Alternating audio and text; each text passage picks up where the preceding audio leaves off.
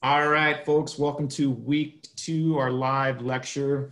Today I'm going to talk about segmentation and positioning and the marketing mix and the promotional mix. So this is kind of like building block stuff. There are so many almost weaponized digital tools available now for us to get super granular and get exactly in front of the face of the customer that we want. Um, so that stuff is really good. But we have to back up and really look at are we even talking to the right person? Do we have the right product? So segmenting is making sure that we're getting to the right who. The marketing mix is what we're going to sell them. And then the promote, promotional mix is kind of how we're going to sell that person. So I'm going to take about 20 minutes to kind of layer these up for you. And then we'll break into um, uh, an exercise. So a question, what is a copywriter? Good question. Anybody want to answer that one? If they feel like they got the answer, you can unmute. Raise your hand. You Anyone?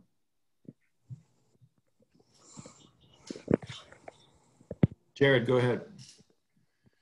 Or are you just ruffling your mic?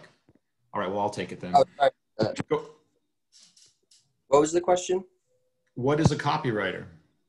Uh, somebody who um, basically copyrights something for somebody so they can get royalties from it? A lot of people think that, and there is copywriting. So the copywriter is an old term. Like you basically you write advertising words, copy, um, on behalf of clients. So it's persuasive ad copy language, and it goes back from when there was a lot of print and, and newsletters. Like we need to put the copy in here. So it's it's advertising language. It's writing copy. Now we'd call you a content a content writer uh, would be the equivalent of that. So that is a copywriter. Share screen. Good questions. And forgive me if I missed something in the chat. Let me know because um, I got a lot of windows open. And here we go. Beautiful. All right, so I'm gonna minimize this so I can see more. I'm gonna get us up to the top. All right, you guys are good? Excellent. If not, unmute and just let me know. So you can go to the week two resource page and I always post this lecture without uh, me talking. It's just slides only, Google Slides only, and all the links work in there. So this is an example of one of those uh, free digital certifications. Google's got a pretty robust platform. It's called Google Digital Garage. And you can train yourself and get certified on digital marketing. They've got a lot of good content. Plus, I think the, the narrator is British, so it's kind of a cool accent to listen to. Copy, segmentation, and target markets are what we're going to talk about today. Compelling copy. Let's get into the copy piece. So compelling copy. The old school, when I was your guys' age, uh, the marketing professors were talking about AIDA, attention, interest, desire, and action. And here's Ariana kind of playing that out with a song. I see it, I like it, I want it, I got it. Attention, interest, desire, action. And that was the model for copywriting for decades. And that model is starting to phase out. And we're moving more into what we call this quote storytelling format. Those of you who are in the digital space, probably heard that term, but you know, attention, interest, desire, and action is some kind of grabby headline. And then you talk about the features and benefits of the product that's going to get them excited. And then you have a call to action where they can actually call a phone number or go to a website and actually make the purchase. So that piece is a little is is not being used quite as much. Here's a classic example of a print ad. Uh, don't replace, regrow. This is regenerative cell therapy for knee replacements. Um, so there's the attention getting headline and then some interest with the subhead. They talk about the features and the benefits. And you can see at the bottom, they've got a 1-800 number for a call to action. So that's AIDA. And there's still a fair amount of copy that's being written that way. But what we're seeing now, and I'll share some other examples of new copy strategies is this storytelling format. And there's Simon Sinek. He's a business speaker. He's all over YouTube. Um, and he's got this platform that talks about uh, the golden circle and starting with why. And I'm going to see if this works when we actually play it because I think it's it's pretty short. But basically, his theory is people don't buy what you do as a company. Hey, we are Apple and we make these types of products with these specs. Instead, they want to buy why you do it. Tell me why you do what you do, and I want like an emotional connection to the company. So let's let's actually listen to this video, and I'm going to check my chat to make sure that you guys can hear this video. All right, I'm gonna play it.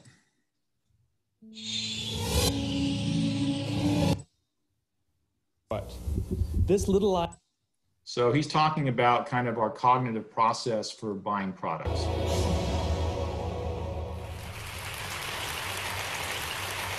I call it the golden circle.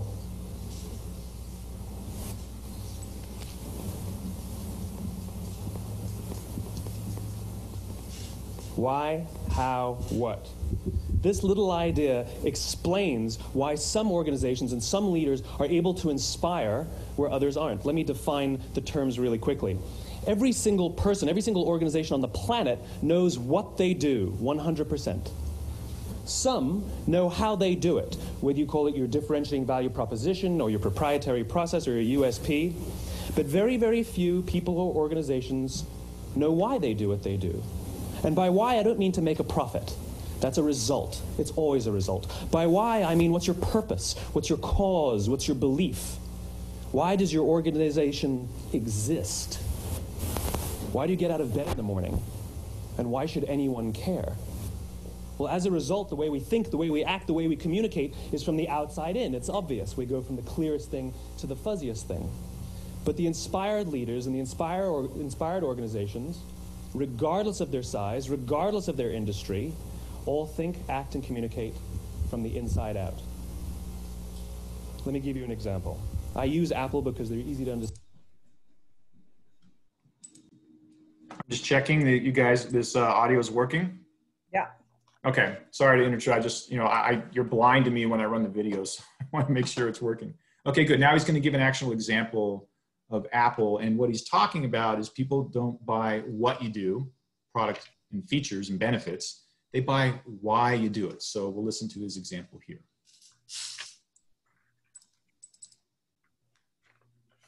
Stand and everybody gets it. If Apple were like everyone else, Hold on, let me crank up the volume a little bit. It seems like it's a little low. You might get blasted, so prepare to turn down your volume if you need to.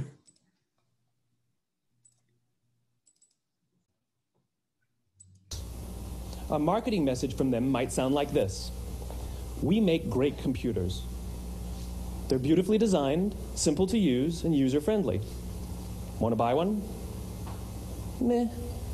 And that's how most of us communicate. That's how most marketing is done, that's how most sales is done, and that's how most of us communicate interpersonally. We say what we do, we say how we're different or how we better, and we expect some sort of behavior, a purchase, a vote, something like that. Here's our new law firm. Uh, we have the best lawyers with the biggest clients. We have, you know, we always perform for our clients, do business with us. Here's our new car. It gets great gas mileage. It has, you know, leather seats. Buy our car. But it's uninspiring. Here's how Apple actually communicates. Everything we do, we believe in challenging the status quo. We believe in thinking differently. The way we challenge the status quo is by making our products beautifully designed, simple to use, and user friendly. We just happen to make great computers. Want to buy one? Totally different, right? You're ready to buy a computer from me. All I did was reverse the order of the information. What it proves to us is that people don't buy what you do, people buy why you do it. People don't buy what you do, they buy why you do it. This explains why every single person in this room is perfectly comfortable buying a computer from Apple. But we're also perfectly comfortable buying an MP3 player from Apple, or a phone from Apple, or a DVR from Apple. But as I said before, Apple's just a computer company. There's nothing that distinguishes them structurally from any of their competitors. Their competitors are all equally qualified to make all of these products. In fact, they tried. A few years ago, Gateway came out with flat screen TVs.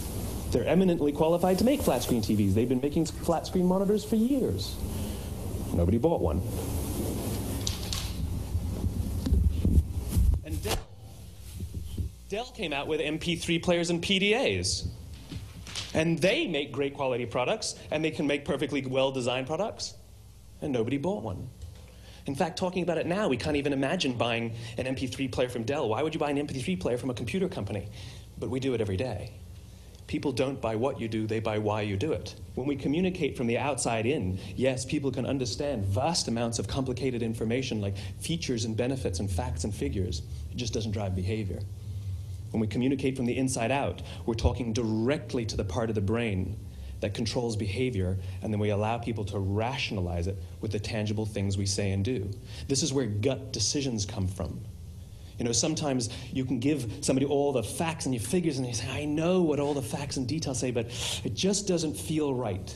Why would we use that verb? It doesn't feel right because the part of the brain that controls decision making doesn't control language. And the best we can muster up is, I don't know, it just doesn't feel right. Or sometimes you say you're leading with your heart or you're leading with your soul. Well, I hate to break it to you, those aren't other body parts controlling your behavior. It's all happening here in your limbic brain, the part of the brain that controls decision making and not language. But if you don't know why you do what you do, and people respond to why you do what you do, then how will anybody how will you ever get people to, to, to, to vote for you or buy something from you, or more importantly, be loyal? Okay. So I'm going to stop that here and let me copy these questions for you. And uh, so you have two questions here. I'm going to put these into the chat have somebody raise their hand if they think they have the answer to that. So this is an interesting kind of flip on how we write copy. If you think about your own experiences, oftentimes I'm sure there's things where you've just like short circuited and you had to buy something, and then you rationalize it later, right? So features and benefits rationalize why we buy something, but it doesn't get to that core essence of us of like why we do something. It's very similar to like why we fall in love with somebody. So we're, we're kind of getting to that piece. And so marketers are realizing that they need to shift their language and have a story about their business that is compelling. So go ahead and use the reaction button and raise your hand if you think you know the answer. Look at the first mission statement here in the chat. Bring inspiration and innovation to every athlete in the world. If you have a body, you are an athlete. Raise your hand with the reaction button down at the bottom if you think you know who that company is. Uh, Nike. Nike, that is correct, Karen. How about the second one? Build the best product, cause no unnecessary harm, use business to inspire and implement solutions to the environmental crisis. Donnie, I see you got your hand up. Go ahead and unmute. Oh, that, that was for the last one. I was just playing with emojis. Oh, okay. And you want to take you want to take it on, or let's Anybody else? Could you repeat that one more time? Yeah, it's in the chat. So build the best product, cause no unnecessary harm, use business to inspire and implement solutions to the environmental crisis. Oh man, that could be anybody. Maybe Patagonia. Patagonia, it is. Ding ding. Congratulations to Karen and Donnie for that. So, and both of these companies, from a marketing standpoint, no big surprise, are super successful because they figured out this storytelling, they figured out their mission and how to have a stance that um, people can rally behind. So, so there's that piece, is that storytelling piece. All right, so that's today's little um, copywriting lecture. I'm a couple minutes over on my time. So any quick questions on that? I'm sure we can think of other examples. Okay let's move into the lecture. And I'm gonna, just to make sure. The next thing I'm gonna share is I'm gonna get into segmentation. So I put down 25 minutes. I'm gonna try to do it in about 20 minutes. So I might cut parts of this out. But when we talk about segmentation, and you did this in your sign up sheet, segmentation is looking at the sector that you're in from a very broad, what we call a broad generic product line basis. What's the sandbox that I'm playing in? Not just your direct competitors, but okay, I'm in beverages, I'm in beer, you know, so that's kind of my segment. And then what are all the different players within there? So marketers oftentimes start by segmenting broad and then looking at all the different sectors to figure out based on our resources as a company and our you know current brand status what's the most appropriate niche for us to really go after um, and that's the segmentation strategy so let's hit a few slides on that okay share done whoops present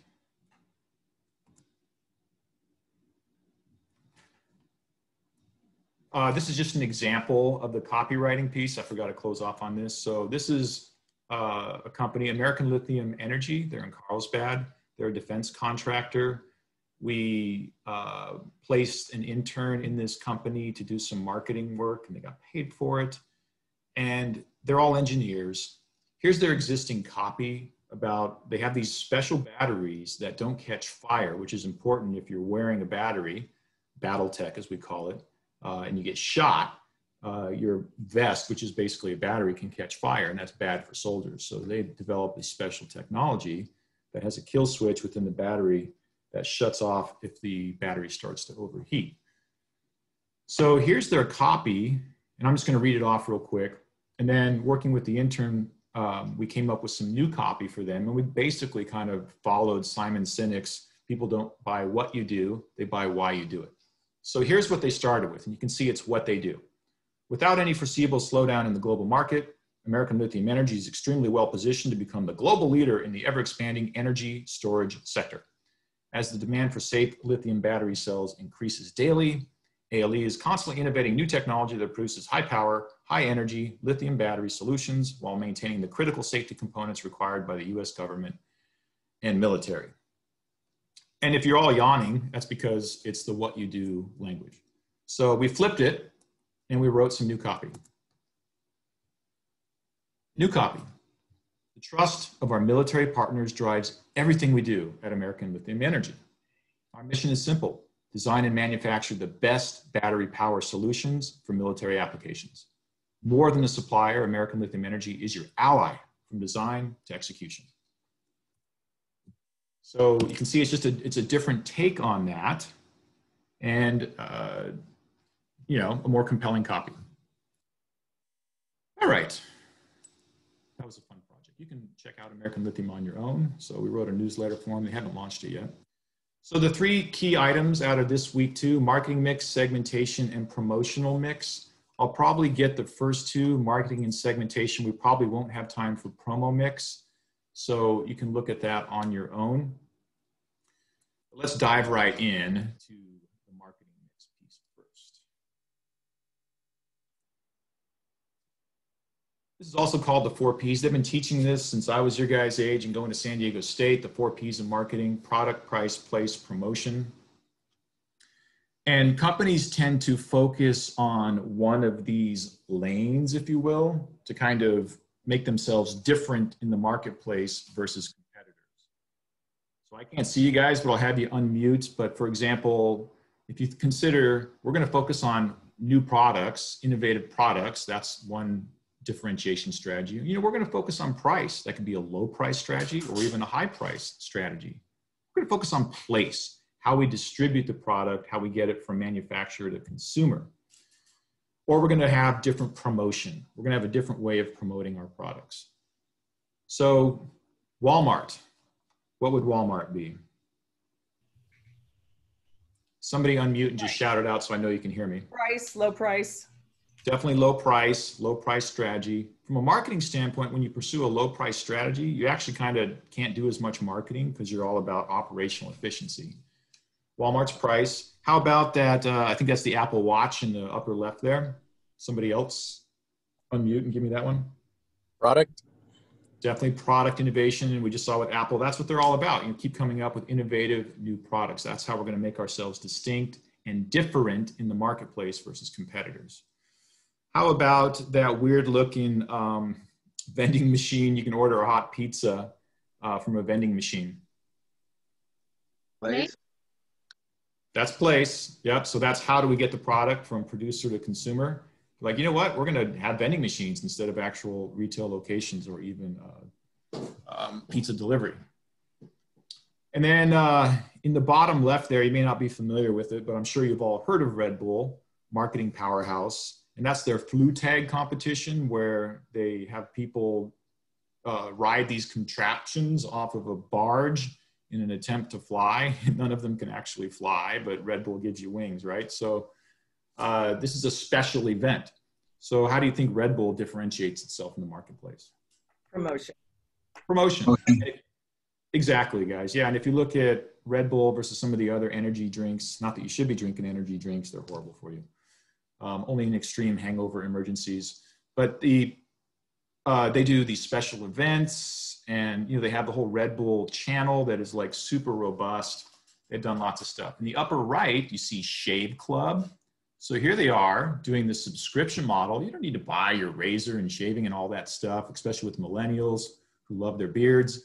Um, you know, now we're going to actually go direct and, and it'll be shipped directly to you. You don't need to go to retail for that anymore. Same with cosmetics. So that's all a new place.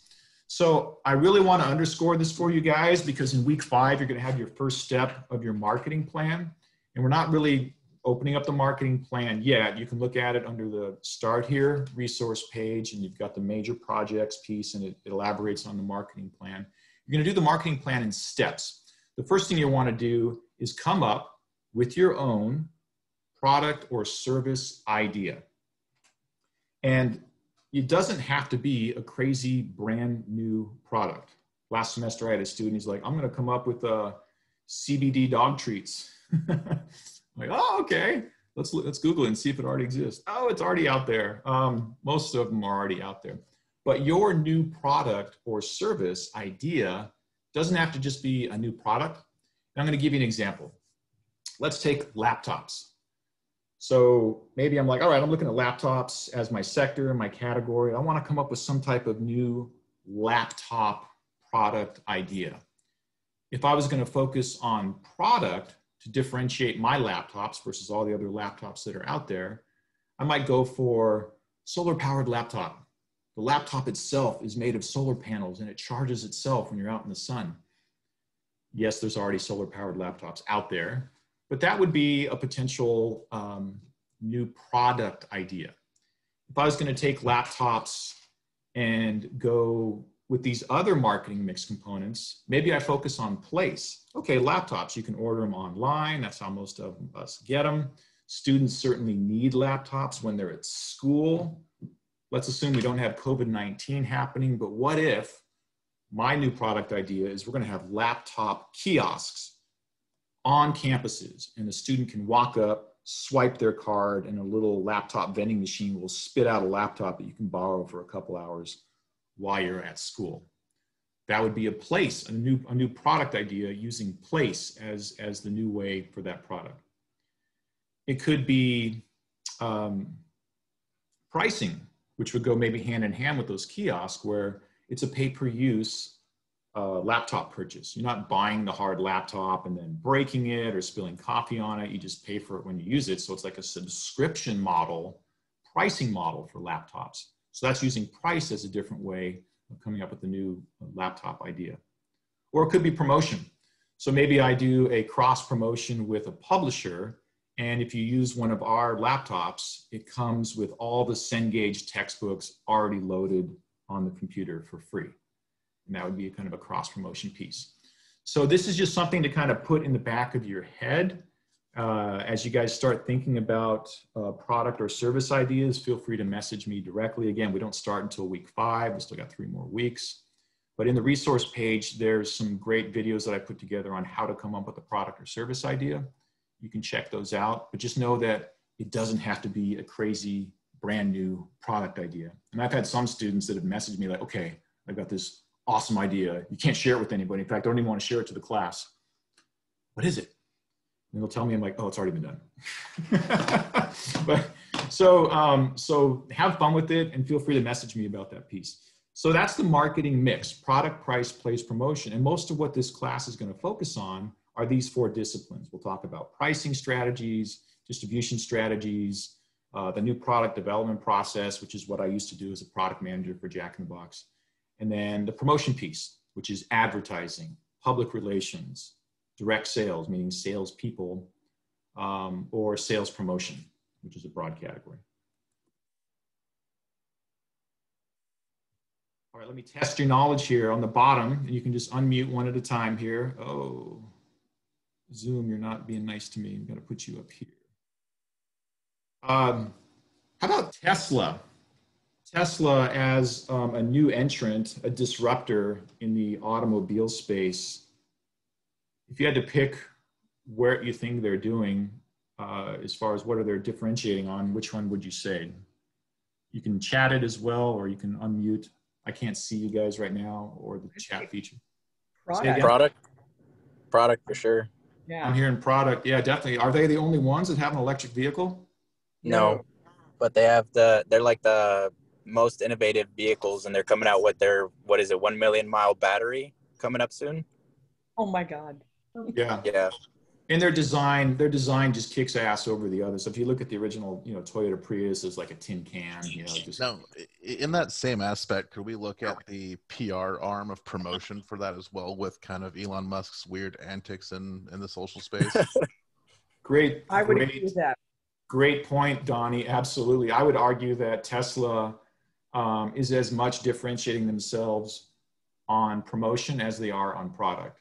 So uh, Elon Musk gets a ton of PR coverage, SpaceX and his own personal antics, you know, and he's on Joe Rogan and he's doing bong hits. And so, you know, and so people kind of like that. So he's definitely certainly promotion. What about place? How do you, do they have the traditional dealer network for Teslas?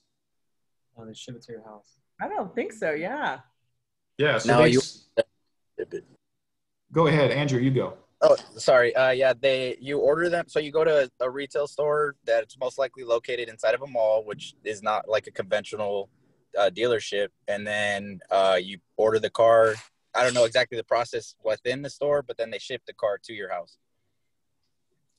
So Elon figured out, you know what, dealerships are expensive and, and they take a cut. Most car manufacturers, they actually manufacture the car and they sell it to the dealers and their profit, their profit lane is done at that point and the dealer marks it up and sells it to the final consumer. So he's gone direct, um, which enables him to, you know, keep more of the profits of selling the car. So um, good, good examples. So as you think about um, your product or service idea, you want to have kind of picking a main lane here on how you're going to differentiate yourself from the competition. So this requires you step back and kind of look at the 10,000 foot view. Who are the players and how are they competing?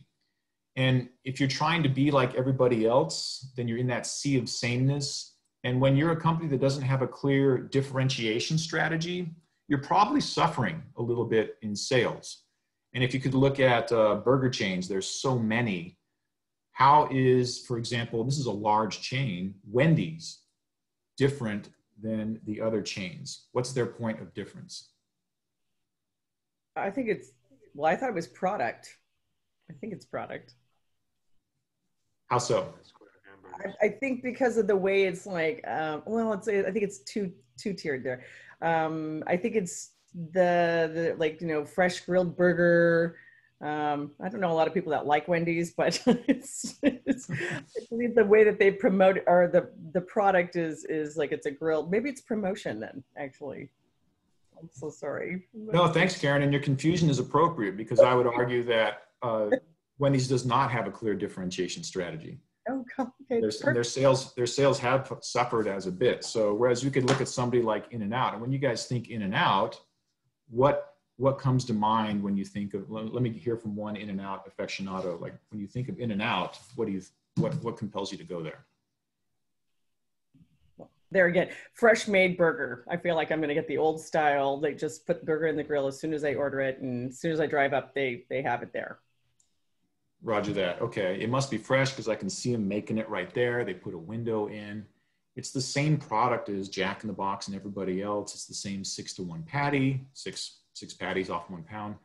Um, you know, it's is it really that much more fresh? Uh, you know, arguably maybe we don't know for sure, but it's a simple purist menu. If you just want a really good burger and shake, you can go in and out. If you want a bunch of other junk like breakfast and salads, you're going to go somewhere else. So, uh, and In and Out doesn't do much marketing, but they've got a clear positioning. So we're kind of backing up and like looking. You can see like if you're the marketer for a company, what you're working with and what you're handed as you as you come in as a marketing person for that company.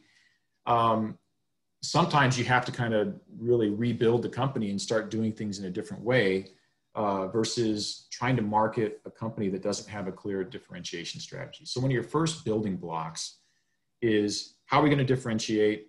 Which of the four P's of marketing are we going to hang our hat on and focus as our primary point of difference versus the competitors? Good stuff. Good conversations there. So when we segment, we start broad and we go to narrow. Broad, like the example here, beer, narrow, we're talking specific product category of non-alcoholic beer or could be gluten-free beer. But as a marketer, you start broad. What are all the lanes we want to go in? And, dis- and to figure out where you want to go, what fits your target market the best. So for example, here's, here's um, cars. Sorry for my kind of cheesy clip art graphic. And, you know, American car manufacturers, part of Americana.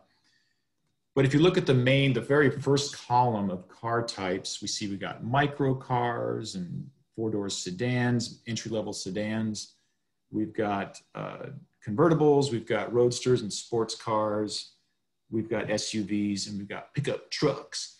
Uh, and obviously we're missing electric because this clip art is pre-electric cars. Um, so you can see this is some main product categories. Okay, that's great. And most car manufacturers have this. These, but what we really want to think about are who the customers that are buying these different types of cars. And that's really what segmentation is. So when you guys break into your groups today, I'm going to give you a broad sector like beer or lodging and, and you're going to start by kind of defining it um, by the user type. But when we typically talk about segmentation, we are describing segmentation using uh, uh, targeting a specific, what we call target market, which is your ideal customer, your avatar customer, and describing that customer using demographics, age, income, gender, ethnicity, sexual orientation, where and I know millennials and Gen Z, we don't like to label, be labeled, um, but it's kind of these cool, crude tools of marketers to kind of find out what's your main kind of demographics about you. And then also psychographics, which are attitudes, interests, opinions like you're conservative or you're outdoorsy. Um, or I had a gay friend tell me like, you know, uh, there's all different types of gay men. And, you know, one category is uh, uh, bears, which are like masculine looking large men that are hairy, uh, but they're gay. Like, okay, I didn't know that one. So, but that, that's a psychographic description, right? So most marketers have a mix of demographics, age, income, gender, ethnicity, education levels, and psychographics. And these two are combined to describe your target market. So when you talk to a marketing director or manager at a company, hey, hey, tell me who's your who's your target market? they're going to rattle back a bunch of demos and psychos to you describing that customer.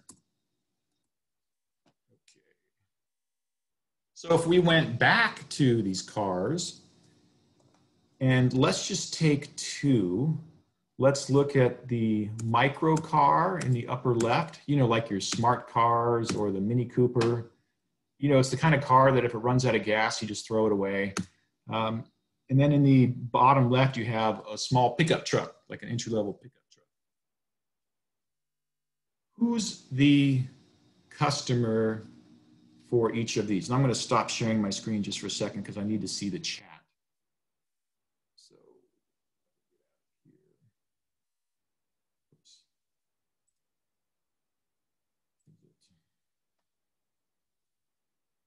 I'm still sharing my screen. Pardon me. Oh my gosh, I'm opening all kinds of windows.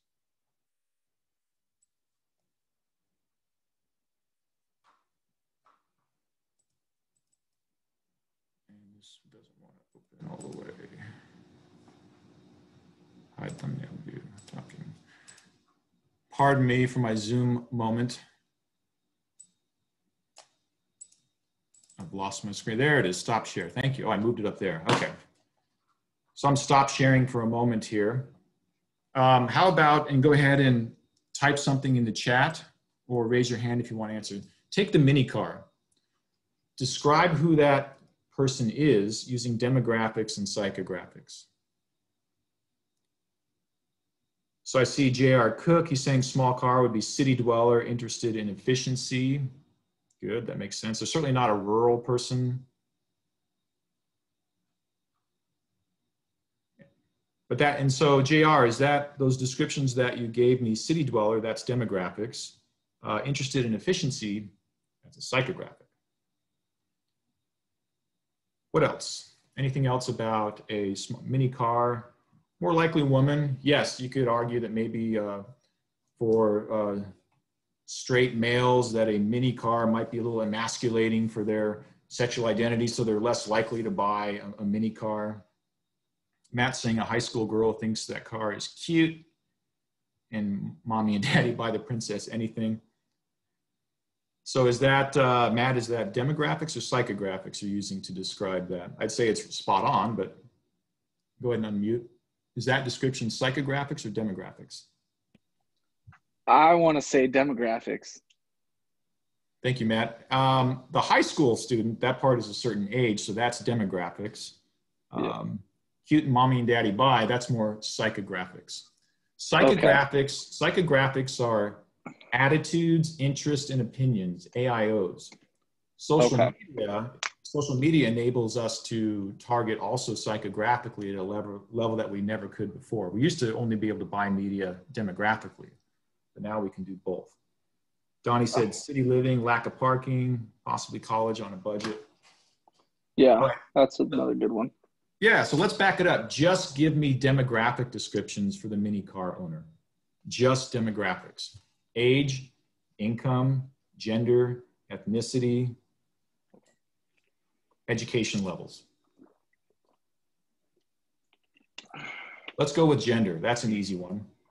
More likely male or female? I say for that first one, be be a female. Because men are more masculine. They they need bigger, better, better. Not all and men. yes. Well, yeah. thank you. No, thank you. Thank you. That's good, Matthew. Let's hear from somebody else. So I, we got we got the gender. How about uh, how about uh, let's see, age, income, gender, uh, education level. somebody other than Matthew because he's about to unmute himself. There's really no wrong answers, guys. We're just kind of practicing. College age female. I would say somebody who's really into a, a, a, smart car or a small car, you know, might have a little more money to kind of make this like uh, environmentally conscious decision about the type of car they drive. You know, so and they have the luxury of they're able to get around with a smaller car, almost like a roadster or a sports car. They don't need the utility of like somebody who's got kids and like budget is a concern and you know utilitarian, able to haul stuff around. That's why I need my car. This isn't that type of car. So Reese, nice work there. Yeah, ages 18 to 26, high school or college, female. Now we're getting into demographics. Now we're getting into demographics. So you want to uh, understand that they're distinct demographics from psychographics. And you really want to have a clear understanding before you start writing any copy or, or promoting your product, who's your customer? Who's your target market? Who are they demographically and psychographically? All right. I'm going to go back to the presentation. Good work on that. Yeah. We'll just, sorry, can I can I interrupt you real quick? Can you go, go again, or can you explain again what the psychographic is again? Absolutely. Sorry. Yeah, no, no worries. Thank you, Matt. So demographics are clear. You know, it's almost like um, they're putting you in a box. You're this age, you make this much money, you live in this neighborhood, you have this much education. So you're, it's, it's a very discrete description of, of somebody. Psychographics are uh, you could be like like maybe you're Harley Davidson, and okay, we're like uh, demographically say it's it's it's male. Um, it's actually income of probably seventy five thousand plus because they're not cheap. Um, but psychographically, it's they value ruggedness and power and freedom and independence and they're irreverent, right? So those are psychographic descriptions for a Harley Davidson buyer and user. So psychographics are, are, are softer, more adjective kind of based descriptions of a target versus demographics, which are like specific age, income, gender, ethnicity, education level stuff. Does that help? Yes, sir. Thank you so much. Appreciate it. Awesome. Okay. So this is kind of like our starting gate before you write copies. You really want to think about, okay, who is my target audience? How do I describe them? We could take somebody like the pickup truck, uh, whereas the Mini is going to be female, the pickup truck, although there's lots of girls like trucks too, but predominantly uh, men, uh, predominantly younger, uh, you know, higher income can afford a big ass truck. So, you know, those are kind of some basic descriptions, but the, the net thing I want you to get out of segmentation is segmentation is about the different customer segments.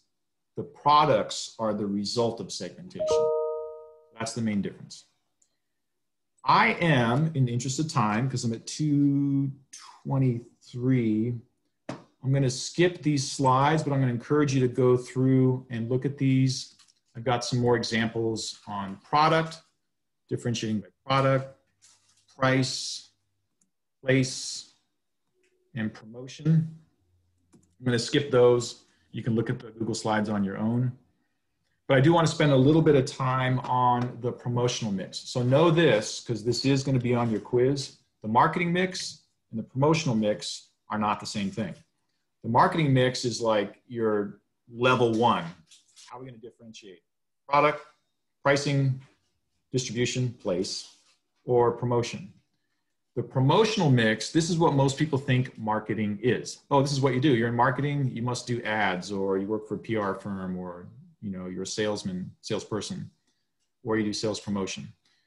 The promotional mix is one part of marketing. Uh, and this is the promotional mix.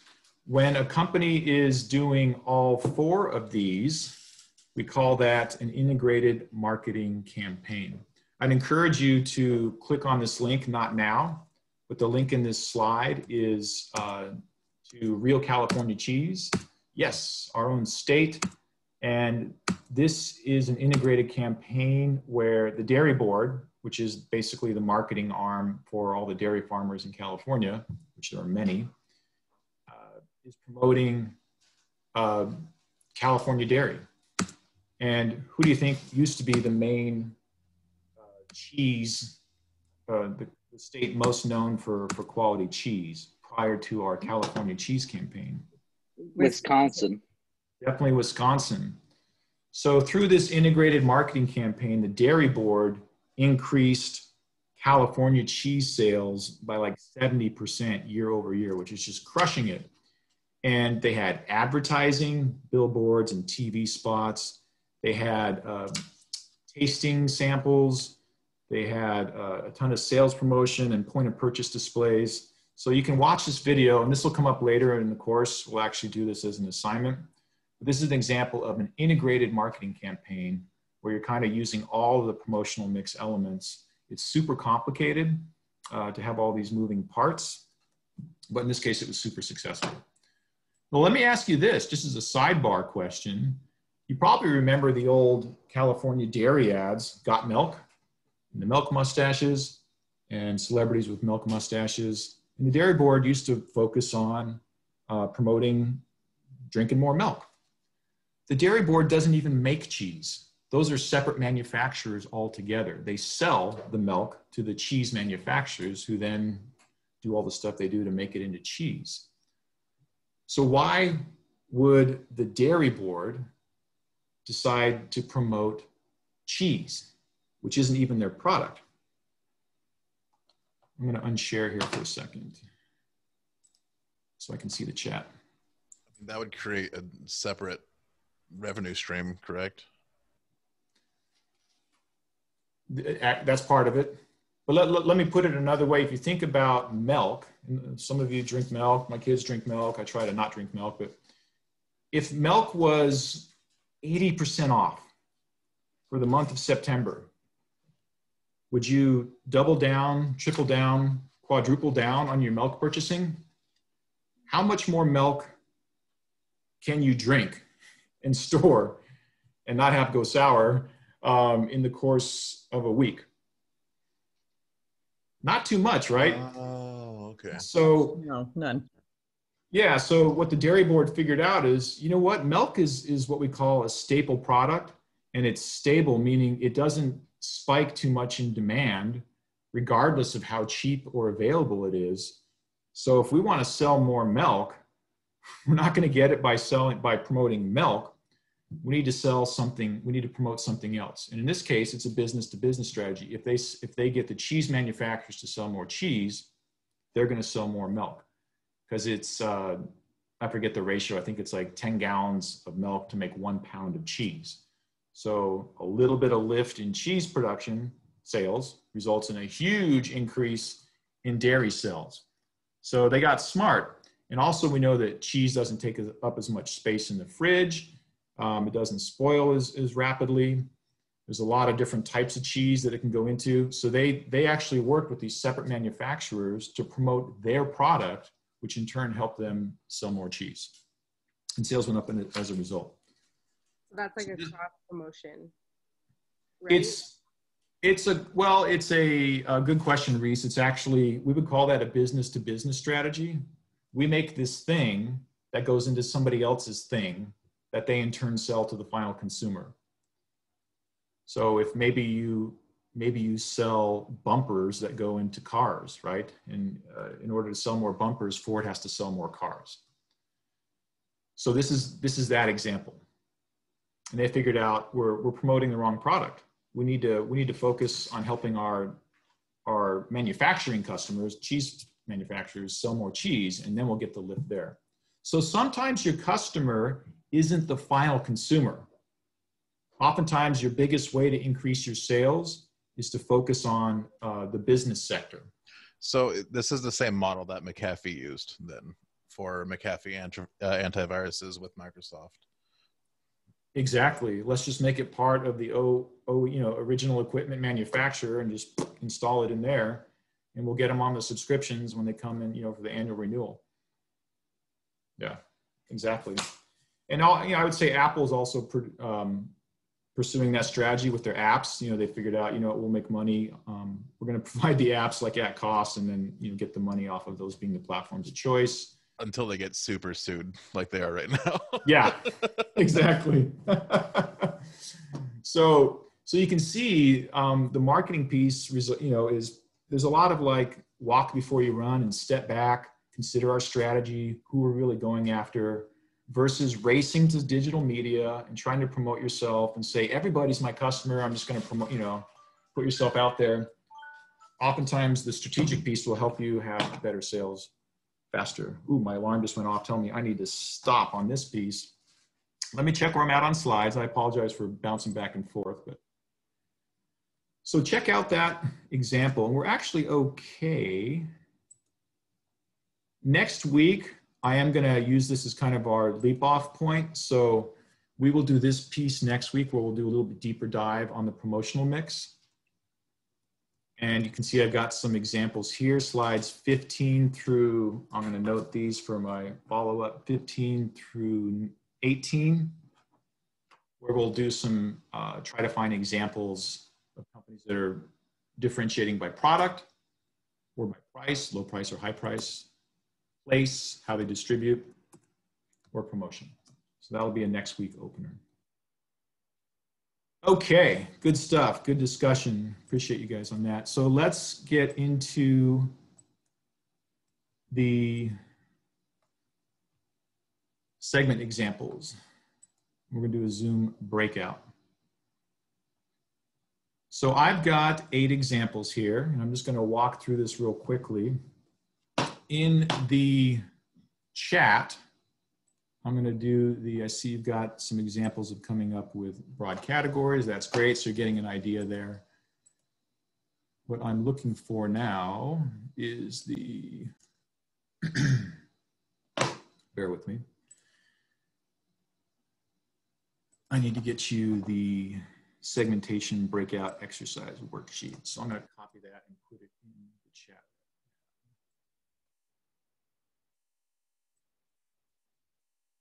Stop share.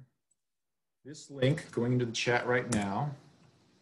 That's that worksheet, same as we did last week. Not your sign-in sheet. You guys signed in at the beginning. This is, you're going to break out into groups here in a few minutes, and you're each going to be assigned a different um, sector, and you're going to try to figure out who's the user, uh, you know, and, and, get some basic segmentation skills around that. So that's that's your worksheet. So save that as a new link, and your note taker will inputting your names of your group members and also your notes for that. So make sure you keep tabs when I split you out into groups.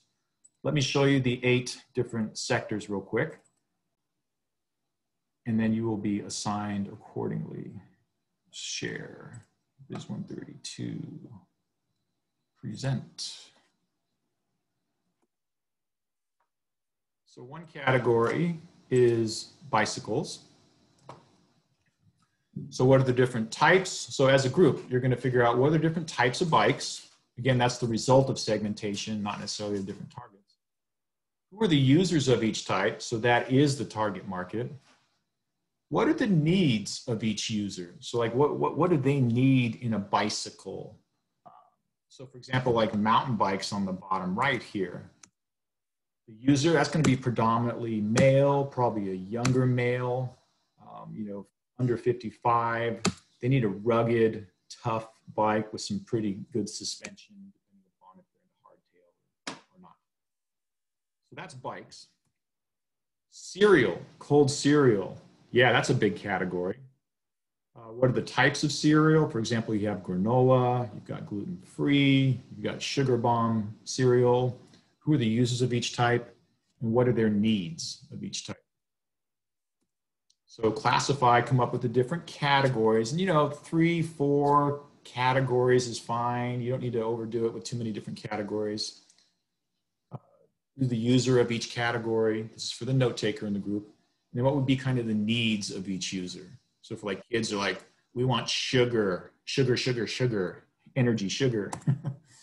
um, hard alcohol for the drinkers. Wouldn't want to forget you. Uh, what are the types? Of, of hard, and we're talking hard alcohol, so not, not beer and wine, so alcohol and spirits. What are the different categories? Are there different users? What's, what's uh, go ahead and unmute if you want to give me, what's the new hot um, alcohol beverage that's coming out? Like every single manufacturer seems to have a version of it. Gluten free. That's one. There's another one. Oh, um, like the uh, seltzer. Bingo. Yeah. yeah, seltzers. Everybody's jumping on the seltzer bandwagon. I was ta- I was uh, doing a seminar with the marketing director for Karl Strauss, and they were they're coming out with a uh, a, a, seltzer, and it's based on the uh, Endless Summer surfing movie. All right, so group one, your bikes. Group two, your cereal, cold cereal. Group three, your alcohol. Group four, motorcycles. Group five, fitness classes. Yes, that's a picture of goat yoga. Yes, it's a real thing.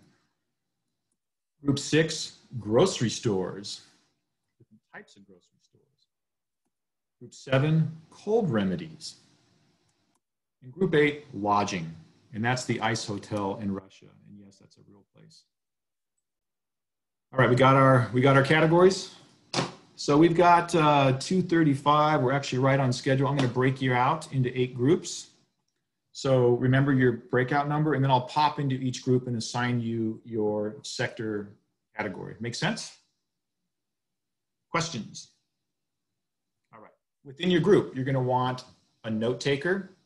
You're going to want someone to help lead the group on moderating the discussion. And you got 10 minutes to moderate within your group, so about two minutes per person uh, you'll have the presenter, which is sharing out your findings after the group meets. And I'm also going to ask for a new role, which is the timekeeper. So we'll have 10 minutes on this one.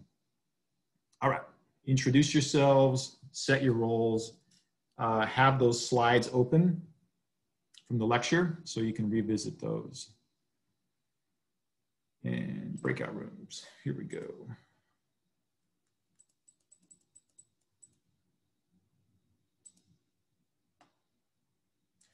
All right, before I do this, I'm just going to read off the names. So breakout room one, if you want to jot this down, Karen O, Miguel Velasquez, Reese Bader, and Samuel Machado. Breakout room two, Arlene Mendez, Fernie Martinez, Jake Brummett, and Waylon Yorba. Group three, Andrew, Sabrina, Shay Stoltz, and Shelby Messier. Group four, Alex Hughes, Donnie Cardenas, Michaela Escamilla, and Nairumi. Five, Emily, Josh Dent, Perla Enriquez, Sofia Urena. Six, Kelly Johnson, Kevin Urban, Matthew DeBalk, and Yumi Matsui. Seven, Brady, Cole, Tatro, and JR. Simon, there's only three of you, but you'll figure it out. Uh, group eight, Christian Solis, Jared Young, and Genevieve Dance. Here we go. Give it a minute.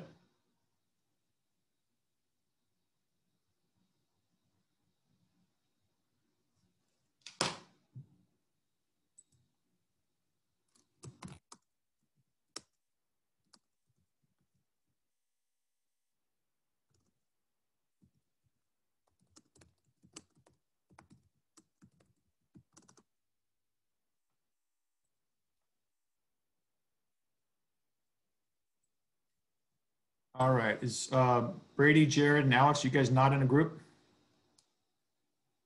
Go ahead and un- unmute yourself, Brady.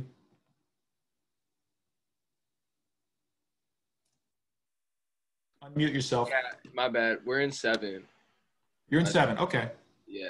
Oh, I'm in your group. I must have accidentally gotten in your group. Okay. All right, so I'm gonna close this. Okay, that's good. You're in your group. For some reason, it's, I don't know why it's showing, I can still see you. oh well, yeah. I'm not actually in. Oh, I got you. I see you. I have Jared in here, and Okay, I got you. you and Jared. That's it.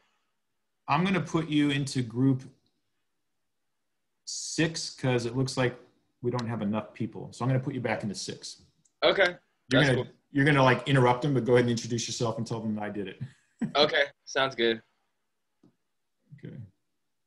Move to six. You should be in six now. Hmm.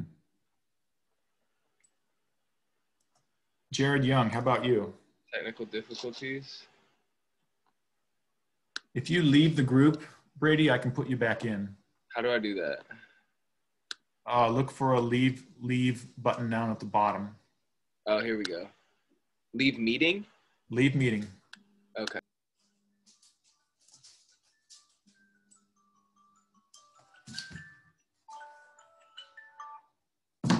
All right. One second here. Jared, I'm going to get back to you in a second. Okay, so breakout room one. Because I have no idea. Breakout